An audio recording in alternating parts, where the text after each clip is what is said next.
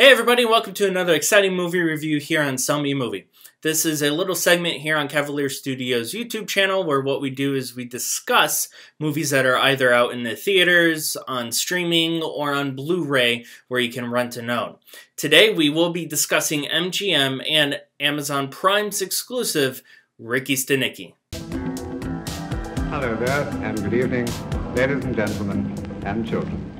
So again, if you are new to the channel, make sure that you do hit the subscribe button down below. Make sure you do follow us on all social platforms, as well as check out the merchandise store.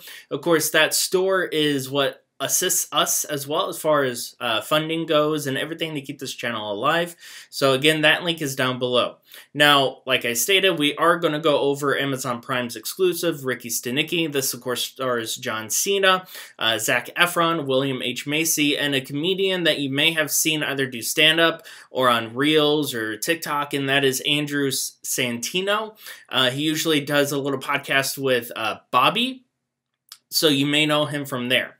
Now, going in, I wasn't quite entirely sure what to expect as far as from Ricky Stanicky. Um, the guy who directed the film was also one of the writers for Dumb and Dumber. He also produced, uh, I believe, The Green Book. Uh, it has um, the guy from Lord of the Rings in there. It, it's won the Academy Awards or Golden Globes, one of the two within like the past year or two. Um, the Green Book that like I said, it's a green book. So Ricky Stanicky is honestly just a buddy comedy. You have these three friends that have lied throughout their whole entire life, which what they do is they make up an imaginary individual named Ricky Stanicky. Now, Ricky Stanicky, again, he's an imaginary, he's a made up friend. So, whenever they got in trouble as kids or as an adults or need an excuse to leave their wives or leave whatever situation may be going on, they honestly already have a pre planned motion for uh, the reasoning behind that, and it's always about Ricky Stanicky and that goes along the lines of either Ricky has cancer or he is doing something in somewhere in third world country. So they always have excuses for this. So then that way they can get away with whatever whatever they want to do um, this movie alone is a, the moral of the story is don't lie because obviously it comes to get you at some point. Um, now, unlike real life, though, this movie obviously works out in favor of the main characters, where in real life, majority of the time, almost 100%, actually 100% of the time, when you lie to somebody, it always comes back to bite you. But of course, this is Hollywood, and there's a good story at the end of this. Now, we do see John's John Cena's character, um, who goes by Rod over in Atlantic City, and he is a very um, uh, how can I put this? He he drinks a lot.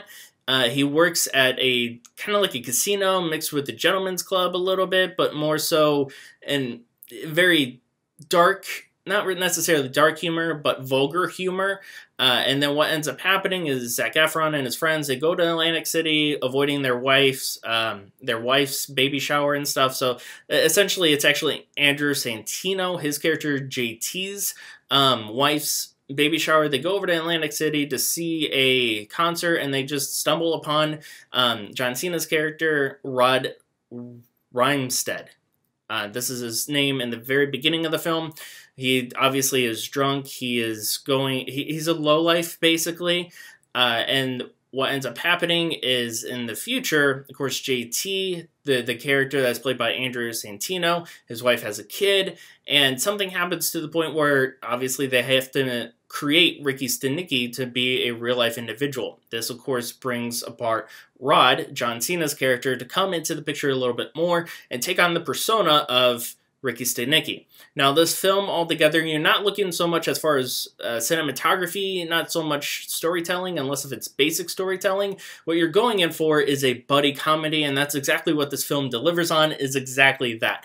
Honestly, the, this type of film, I can chime it up to just being like the film that Zac Efron has done before with... Uh, Michael B. Jordan as well as Miles Teller, and that is the awkward moment. There is similarities in that stance as far as the type of movie, buddy comedy type deal, um, where at the end everybody lives a good life. So altogether, this is going to be a short review because there's not much to say about this film.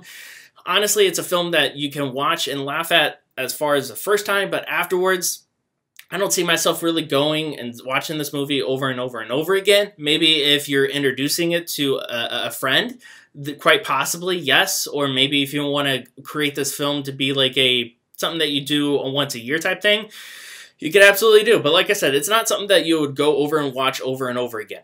But other than that, though, did you guys see it? Leave a comment down below. Again, make sure you subscribe to the channel as well as follow us on all social platforms. And we'll see you next time for the next review.